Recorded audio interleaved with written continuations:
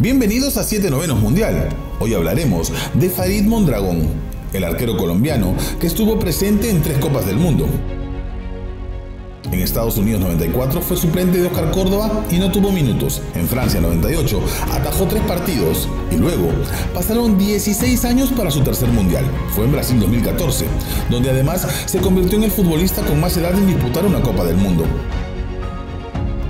Mondragón tenía 43 años e ingresó en el duelo ante Japón por la fase de grupos, convirtiéndose además en el jugador con mayor periodo entre dos mundiales.